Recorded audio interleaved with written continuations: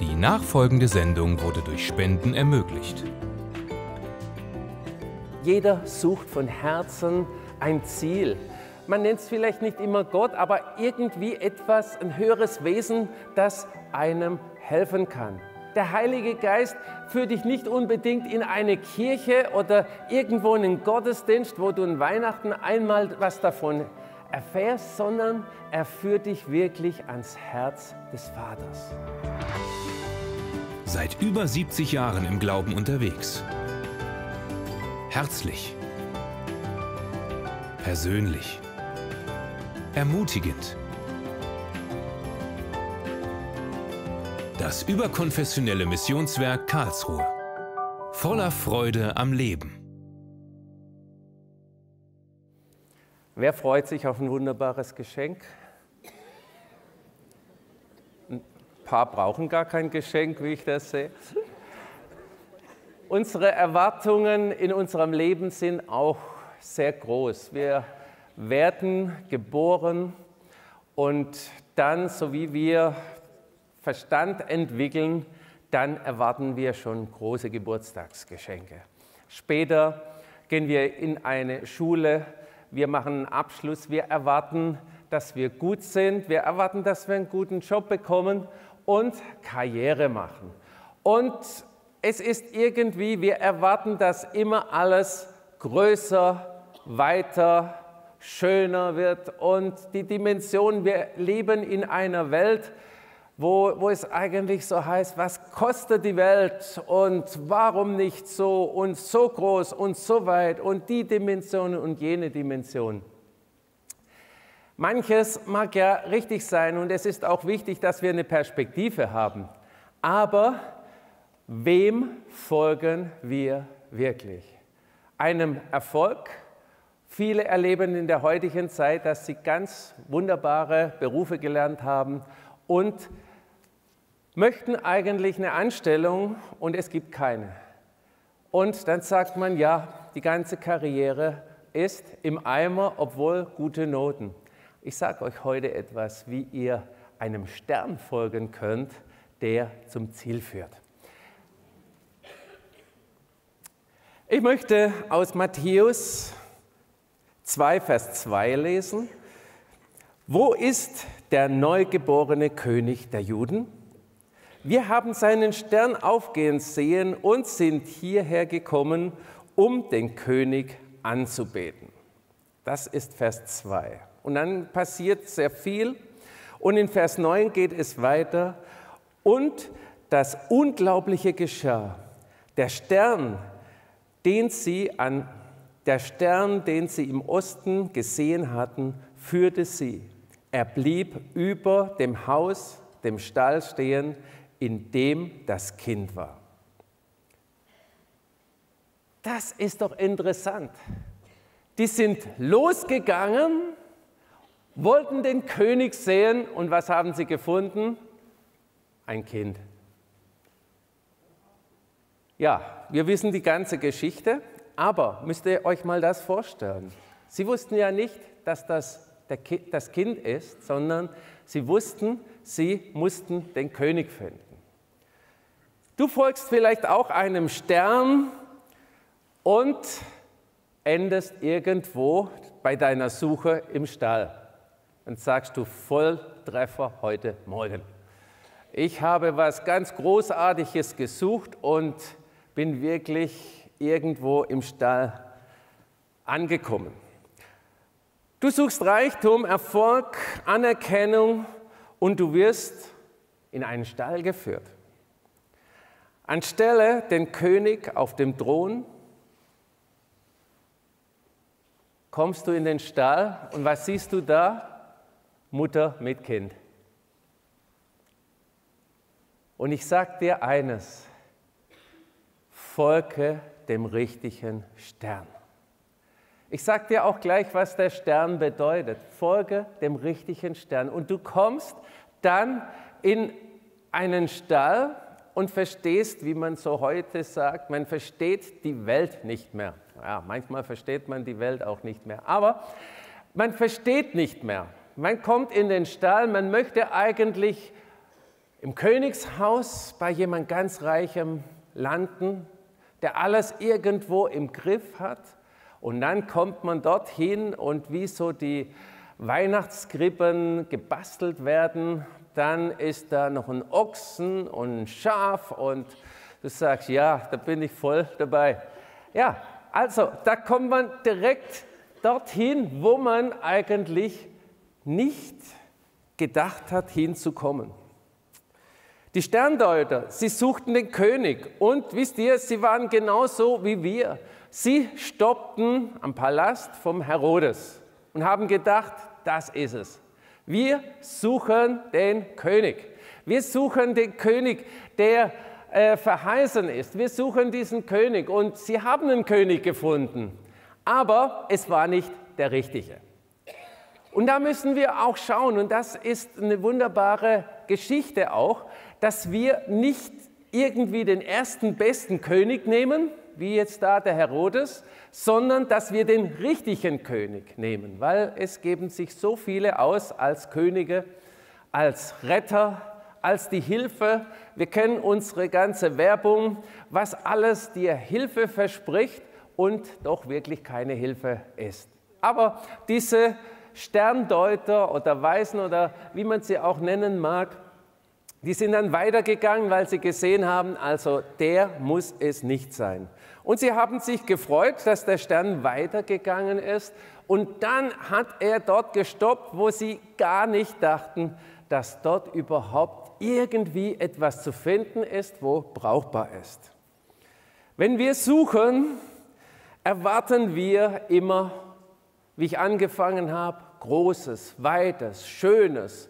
Und wisst ihr, wenn man ein schönes, großes Päckchen bekommt, einen Riesenberuf hat und Titel hat und so weiter, man erwartet so viel Großes und ist dann enttäuscht, wenn man im Stall gelandet ist. Ich habe in den letzten paar Tagen einiges gehört von großen Leuten, die viel gewirkt haben, wie auch der Mr. Windows, Bill Gates und auch andere, wie die eigentlich angefangen haben. Da war auch viel Stallerfahrung dabei. Ich meine jetzt nicht Christerfahrung, sondern Stallerfahrung. Bei all ihrem Können haben sie sehr viel untere Wege durchgemacht. Und ich glaube, wir sind heute alle hier, die schon viele Wege durchgemacht haben, wo es nicht so gut ging, wo es nicht so prickelnd war, wo wir dachten, ich habe mir das Leben ganz, ganz anders eigentlich vorgestellt. Die Weisen, ihr Lieben, die Weisen haben drei Dinge getan, als sie zum Stall kamen. Und das möchte ich jedem heute auch mit nach Hause geben. Sie haben drei Dinge getan, die wir auch heute tun sollten. Sie haben Ausschau gehalten nach Gott. Zweitens, sie gaben alles, was sie hatten, im Stall. Ich meine jetzt nicht das Opfer, das nachher erhoben wird, dass ihr jetzt alles irgendwo da lasst. Ich meine vielmehr euer ganzes Leben, das ihr wirklich Jesus hingeben könnt. Drittens, sie gingen einen anderen Weg weiter. Also sie sind nicht wieder zurückgegangen, sondern sie gingen einen anderen Weg weiter. Viele von uns, und ich, wenn nicht sogar alle, haben gestartet als Stern und sind irgendwo im Stall gelandet. Und ich sage dir, du brauchst diese Stallerfahrung. Da nicht, nicht der, wie soll ich sagen, nicht die Prunk und allem Möglichen. Wir wissen, das ist mal schön. Jesus kam nicht im Königspalast zur Welt, sondern im Stall, um jeden Menschen zu ermöglichen, zu ihm zu kommen. Ich hatte schon das Vorrecht, bei Königshäusern zu sein, Buckingham Palace und UN und so weiter. Und je höher die ganze Institution wird, desto schwieriger wird es hineinzukommen. Ich weiß, in der UN, das war ein riesen, riesen Abwaschprozedur, bis man da mal drin ist. Und dann gibt es die Besucherebene und dann gibt es die Ebene, wo der Sicherheitsrat ist. Und bis man dort ist, das ist so schwierig. Und dann heißt es, ja, hier, dieser Bereich ist international, dieser Bereich gehört diesem Land und jedem Land, da darf man fotografieren, einen Meter weiter darf man wieder nicht fotografieren. Es sind so, es sind so viele Regeln dort einzuhalten. Und dass keine Regeln einzuhalten sind, wenn man zu Jesus kommt, er kam im Stall. Und er ist aber dort nicht geblieben, möchte ich mal vorausschicken. Aber er kam im Stall, dass wir alle, egal wie wir sind, reich, arm, dick, dünn, groß und blond oder gar keine Haare, äh, egal wie wir sind, können wir wirklich zu Jesus kommen. Die Tür steht offen die Tür steht offen und du brauchst nicht irgendwelche Ausweise oder Einladungen, die du vorzeigen musst oder irgendwo ein roter Teppich, sondern die Tür steht wirklich offen. Und der Stern hat diese Weisen dorthin geleitet. Und sie hielten Ausschau nach Gott. Und heute, auch selbst Atheisten möchte ich behaupten, haben Ausschau nach etwas, wo wirklich ihnen weiterhilft, wo ihnen eine Zukunft zeigt, wenn auch oftmals gesagt wird, wenn auch oftmals gesagt wird, wir glauben an keinen Gott. Jeder sucht von Herzen ein Ziel. Jeder sucht von Herzen auch etwas, man nennt es vielleicht nicht immer Gott, aber irgendwie etwas, ein höheres Wesen, das einem helfen kann. Und wie ich sagte, zweitens, sie gaben alles, was sie hatten im Stall. Sie haben so vieles mitgebracht für die damaligen Verhältnisse. Selbst für die heutigen Verhältnisse ist das sehr, sehr viel, was sie da mitgebracht haben. Und wenn wir heute, was können wir heute geben? Wir wissen nicht, wie lange unser Euro hält. Das ist weniger die Sache, sondern wir können unser Ich geben, unser unser ganzen Mensch. Wir können das Jesus geben und wenn wir das Jesus geben, kann er was Wunderbares daraus machen. Glaubt ihr das? Er kann was Wunderbares daraus machen.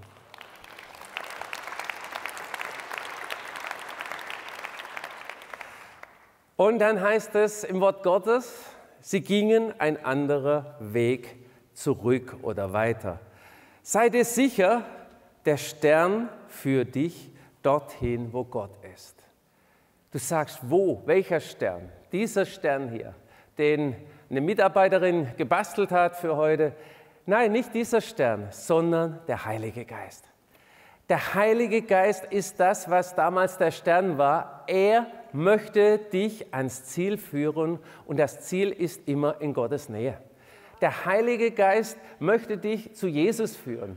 Und das ist heute nicht mehr der Stall in Bethlehem, sondern es ist wirklich die Gegenwart Gottes, wo wir auf dieser Erde schon erleben können. Und das brauchen wir persönlich. Der Heilige Geist führt dich nicht unbedingt in eine Kirche oder irgendwo in einen Gottesdienst, wo du in Weihnachten einmal was davon erfährst, sondern er führt dich wirklich ans Herz des Vaters. Und das ist das Wichtige. Das ist das, was Gott wollte, dass du wirklich mit ihm in Verbindung treten kannst.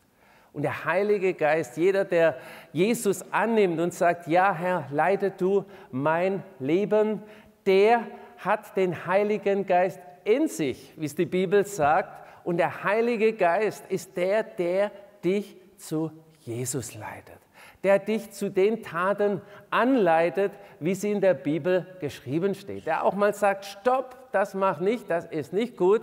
Und wieder sagt, da geht's lang. Und diesen Stern, möchte ich sagen, Stern, den Heiligen Geist, den brauchen wir in der heutigen Zeit, wo wir nur noch irre geleitet werden von Medien, von Meinungen, von Politik und was auch alles äh, unterwegs ist. Und das ist sehr, sehr wichtig. Die Bibel zeigt uns den Weg über den Stall zur Lösung, die Jesus Christus heißt. Und da ist wirklich die Lösung. Wenn wir sehen in der Bibel, äh, so viele haben das erlebt. Josef, Josef, der bekannte Josef in der Bibel, der hatte auch sozusagen den Stern oder die Sternerfahrung, Stern zum Stall. Er hat eine Riesenberufung gehabt und er hat dann leiden müssen in einer Zisterne, er war im Gefängnis und so weiter und nachher wurde er zum zweithöchsten Herrscher. Er hat auch so eine, eine wie soll ich sagen, Sternerfahrung und Stallerfahrung mitgemacht. Wir kennen David. David hat so viel durchgemacht. Einmal war seine Familie gefangen genommen in äh, Ziklag. Wir kennen diese Bibelstellen und auch David hat das durchgemacht. Er war so treu, er hat auch seine Fehler gehabt. Jeder in der Bibel hatte seine Fehler. Und ich glaube, wir auch. Oder gibt es hier einen, der keine Fehler hat? Ich weiß nicht, wir suchen immer noch den einen. Äh, wir kennen einen, äh, diesen da, Jesus, aber ja, er war auch so durch Tiefen, durch Stallerfahrung kam auch er zu dem Sieg.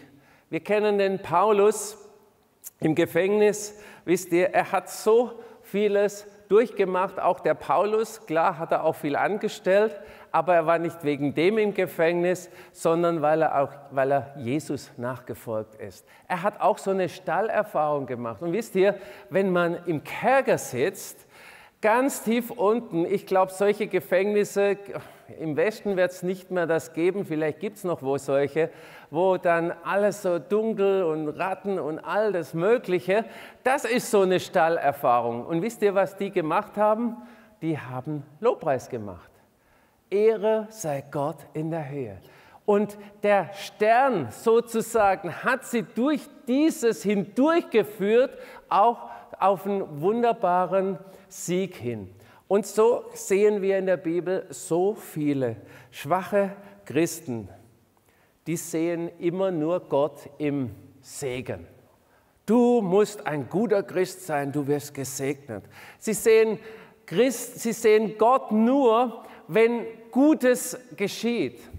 Aber starke Christen sehen Gott im Guten wie auch in den Herausforderungen auch in den Stallerlebnissen sehen starke Christen, ihr Lieben, wir haben von der Bibel verheißen bekommen, dass es eine Wüste gibt, aber dass Gott uns durch die Wüste zum Sieg führt. Und das ist eine Zeit manchmal der Ausbildung. Und ich glaube, für diese Sterndeuter, die da waren, die Weißen, wie sie genannt werden, war das auch eine Ausbildung. Ich kann mir nicht vorstellen, dass die sich gleich vorgestellt haben, da muss irgendwo ein Stall sein. Nein, es war auch ein Erlebnis für sie. Und ich sage dir, folge dem Stern zum Stall. Folge dem Heiligen Geist in die Gegenwart Gottes. Weil die Gegenwart Gottes ist besser als all dieser Prunk dieser Erde und all dem Geld, das vielleicht zu haben gibt. Da gibt es viel mehr. Und ihr Lieben, die Weisen gaben ihr Bestes im Stall. Was ist dein Bestes? Dein Bestes ist eigentlich dein Leben. Das Geld hat auch irgendwo eine Rolle, aber gib eigentlich das, was du bist, gib das Jesus. Und er macht etwas Wunderbares daraus. Er möchte dich zum Ziel führen. Er hat für dich die Lösung. Er hat für dich die Lösung hier auch noch auf dieser Erde. Ich habe es vorher gesagt, wie Menschen kamen, die, für die gebetet wurden, Sonntag für Sonntag, die sagen, Gott hat mein Gebet erhört. Und das ist eine Erfahrung, wenn wir mit dem lebendigen Gott wandeln. Stimmt es? Das ist die Erfahrung, wenn wir mit ihm wandeln. Echte Christen gehen eine Meile weiter mit jemand, der vielleicht in Not ist. Da möchte ich noch äh, Matthäus 5, Vers 41 lesen. Wenn einer von dir verlangt, eine Meile mit ihm zu gehen, dann gehe zwei Meilen mit ihm. Und das ist auch, ihr Lieben, so etwas in jeder Lebenssituation. Gib dein Bestes. Auch wenn es im Stall ist, gib dein Bestes. Wenn es einmal richtig schön ist, gib dein Bestes. Wenn es schwierig ist, gib dein Bestes. Wenn du krank bist, gib dein Bestes, denn du dienst auch damit anderen. Und nicht, die Christen sind manchmal sehr gerne dabei, wenn es am Wettjammern das Wettjammern, wisst ihr. Wer kann am besten jammern? Wir sollen aber nicht am besten jammern können, sondern wir sollen auch unserem Nächsten dienen. Und das ist das Wunderbare. Und ihr Lieben, manchmal ist es schwierig, dorthin zu kommen, aber es ist wichtig, dass wir es tun. Der Durchschnittschrist möchte immer, dass es schnell geht. Und wir waren mal auf dem Empire State Building. Ihr kennt ja das Haus, das Hohe Haus in New York. Und wir mussten zwei Stunden uns anstellen. Und nebendran war ein Treppenhaus, wo man zu Fuß hochgehen konnte. Ich habe keinen gesehen, der durch diese Tür ist, um hochzugehen, sondern jeder hat stillschweigend zwei Stunden gewartet, bis alle durch waren und man hochfahren konnte. So machen es manchmal die Christen auch. Sie warten, bis der Fahrstuhl zum Glück, der Fahrstuhl zur Hoffnung, der Fahrstuhl zur Heilung, bis der da ist. Aber ich sage dir, es gibt auch ein Treppenhaus, wo du sagen kannst, ich gehe jetzt heute los, dem Ziel entgegen. Ich gehe heute los, dem Ziel entgegen. Schritt für Schritt, immer ein Stock weiter, immer ein Stock weiter und noch ein Stock weiter. Und ich sage dir, nimm das heute mit, mach den ersten Schritt. Erste Stufe, zweite Stufe, dritte Stufe. Denn du kommst ganz sicher dann auch oben an. Und das ist wichtig, dass wir ankommen. Ja, wenn ein Weißer den Stahl findet, ihr Lieben, wird er einen anderen Weg zurückgehen. Wenn du bei Jesus warst, wirst du nicht mehr den gleichen Weg weitergehen auf dieser Erde, sondern es kommt so eine Wärme, es kommt so eine Liebe in dich hinein, dass du sagst, nein, den Weg, den ich bisher gegangen bin, den will ich nicht mehr gehen. Ich möchte einen neuen Weg gehen. Hattest du schon so ein Stallerlebnis, ein Erlebnis, das dein Leben verändert hat? Ich glaube, die sind so in den Stall gekommen, na, das kann es nicht sein, aber wir schauen mal rein. Und als sie eigentlich in den Stall kamen, kam so eine Herrlichkeit, dass sie gesagt haben, das ist unvergleichbar mit irgendwie etwas auf dieser Welt. Und ich sage dir, wenn du Jesus begegnest, hast du ein Erlebnis, das unvergleichbar ist. Und da ist nicht mehr der Stall das Ausschlaggebende, sondern die Begegnung. Und in unserer heutigen Zeit, wo es arme, reiche und alles Mögliche gibt, es ist für jeden möglich, in die Gegenwart Gottes zu kommen. Und ich sage dir auch, komm in diese Gegenwart Gottes. Gott wurde für uns Mensch und hat, ihr Lieben, hat wirklich menschliche Einschränkungen auf sich genommen. Er wurde Mensch. Er hat genauso Schmerzen verspürt. Er hat das für uns getan. Und dieses Kind in Bethlehem, war kraftvoller als das römische Reich, das zu der Zeit gerade war. Wisst ihr da, Kriege führen und römische Filme kennt ihr vom Fernsehen. Stark und mächtig und die Römer sind sehr stark gewesen. Und das kleine Kind im Stall war mächtiger als das ganze römische Reich. Das römische Reich gibt es heute nicht mehr, Jesus gibt es immer noch. Und Jesus ist nicht mehr das Kind im Stall oder das Kind, das, das irgendwo schreit und Windeln braucht, sondern er hat für uns die Erlösung erwirkt, dass wir ihm ganz, ganz nahe sein können. Und das ist das Wunderbar, dass wir ihm nahe sein können. Gott gebrauchte nicht intelligente Bibellehrer der damaligen Zeit, ihr Lieben, er gebrauchte ein Kind im Stall. Und das Kind im Stall wurde zum Retter für jeden, der gerettet werden will. Und das ist wunderbar. Lass dich vom Stern leiden, lass dich vom Heiligen Geist leiden, auch heute zu Jesus hin. Und wir haben gelesen in der Bibelstelle am Anfang, das Unglaubliche geschah, der Stern. Und ich sage dir auch heute, das Unglaubliche geschah, der Heilige Geist ist für dich ausgegossen in dein Herz hinein. Er möchte dich leiten. Folge dem Stern, dem Heiligen Geist und du wirst das Ziel erreichen, das Jesus für dich vorgesehen hat. Möchtest du dieses Ziel erreichen?